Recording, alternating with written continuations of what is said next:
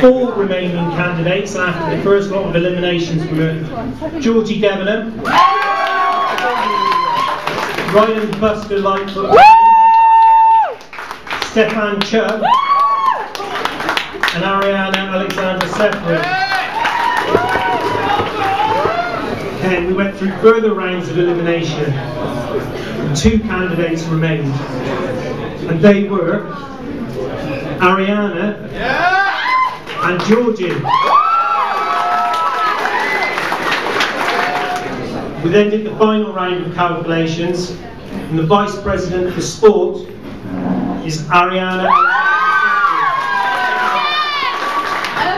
I just firstly want to say I can't actually believe it, only because there was eight people up for this position and I worked so hard, I really did. I want to say thank you to Safi and me now and Will Harding. I, I could not have done it without them, I really couldn't. Thank you so much.